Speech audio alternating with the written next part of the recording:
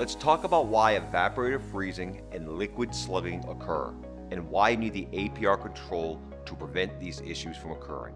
Common factors of compressor failure are dirty filters, reduced airflow, reduced temperatures, or mechanical failures. Another contributing factor is that all air conditioners are oversized by design.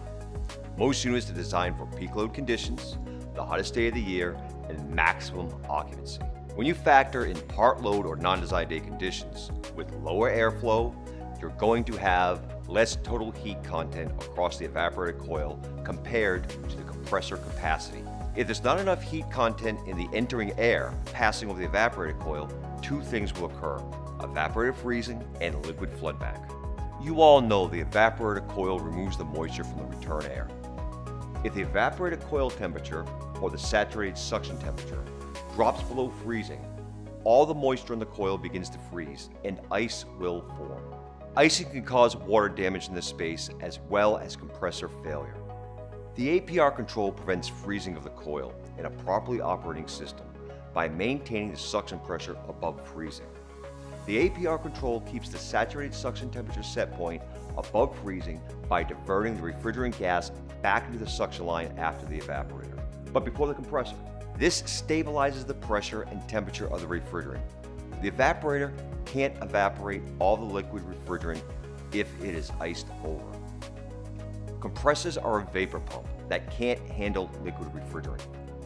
Floodback, or slugging, is when liquid refrigerant goes straight into the compressor, causing inevitable compressor failure. Second to electrical issues, this is the next leading cause for compressor failure. Floodback, or slugging, can happen when there's a mechanical failure, such as a TXV, fan, or even a plug dryer. More commonly is because there's not enough heat content in the air to evaporate the liquid refrigerant into a low pressure, low temperature suction gas. If the compressor provides too much cooling capacity for the load, or the capacity of the evaporator, it may not be able to evaporate the liquid refrigerant into a gas. During low load conditions such as low airflow or minimum space cooling load, the APR control will vary the cooling capacity of the evaporator coil by modulating refrigerant flow only sending enough refrigerant into the coil that can be fully evaporated, matching the capacity of the equipment to the total heat load in space. During a mechanical failure like a broken TXV or loose belt, the APR diverts refrigerant into the suction line so the liquid refrigerant never reaches the compressor. This is how the APR minimizes and ultimately prevents floodback. The APR control provides variable capacity through mechanical means. Because all systems are oversized, the APR control matches capacity to the changing load conditions. The APR control's modulating capability can also improve humidity control and prevent excessive compressor cycling. This will extend the lifespan of your system, avoiding excessive mechanical wear.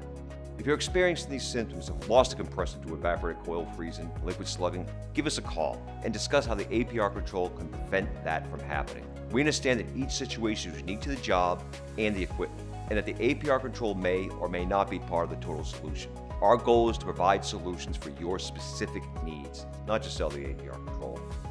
Call us, let's talk about your situation.